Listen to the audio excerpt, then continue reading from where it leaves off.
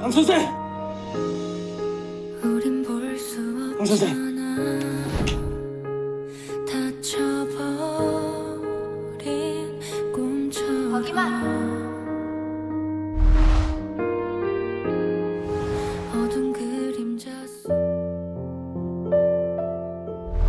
전하와 함께 꽃을 구경하고 싶습니다.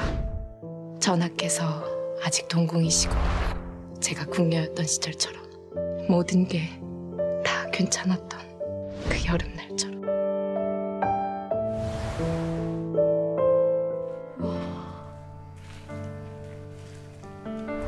일생의 소원치고는 의외로 소박하구나. 겨우 천리경을 써보겠다니. 저하께서 쓰시는 거 볼 때마다 정말 궁금했단 말입니다. 구경만 해야 하는 사람의 심정을 저하께서 아십니까?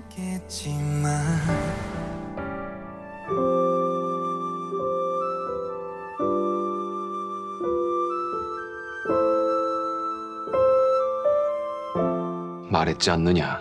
난 너와 가족이 되고 싶다고.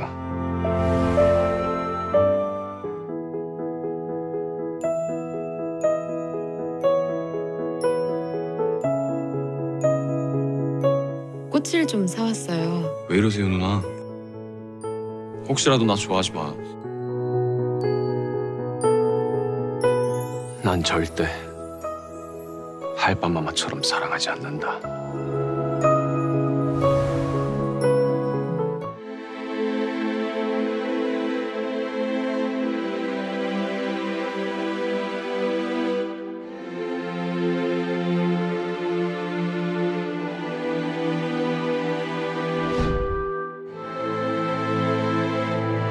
두 번 다시 이 손은 절대 놓지 않는다.